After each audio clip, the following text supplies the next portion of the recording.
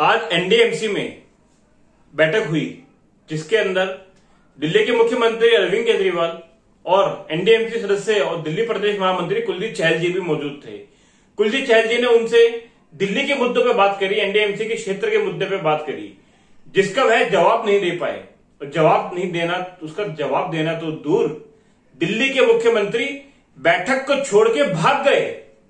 ये इतिहास बना है अब तक का कि दिल्ली का मुख्यमंत्री बैठक छोड़ के भाग रहा है क्योंकि उन्होंने कुछ कार्य ही नहीं करा। Zero Delhi model fail Delhi model है जिसपे कुलदीप चहल जी ने सवाल करे और अरविंद केजरीवाल उसमें भागते नज़र आए। देखिए इस वीडियो में। नहीं है। तो आप बताइए इनको चुप कर दिया क्या करता हैं? आपसे पूछ रहा हूँ शेयर कर। रहे हैं शेयर में बताने की हिम्मत नहीं है क्या केजरीवाल जी तो पूछिए ना देखिए आप। नहीं बताने की हिम्मत नहीं है। दूसरा ये आरटीआई बताती है कि यहाँ के स्टूडेंट्स के लिए आरटीआई है।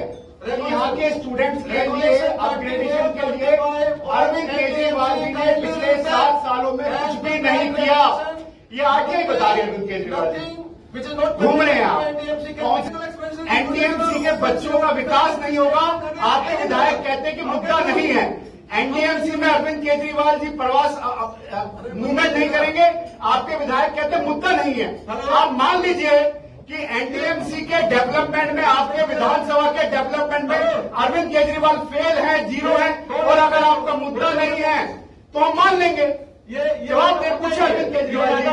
चौतीस पैसे नहीं, आप बताइए ना अरविंद केजरीवाल जी। आप चौंतीस अरविंद केजरीवाल जी पैसे का कहाँ भाग रहे अरविंद केजरीवाल आप जी? चौतीस सौ पैसे पहले के लिए कहते हैं ताकि बात पेपर में जाए। जवाब देंगे। हैं आज मुख्य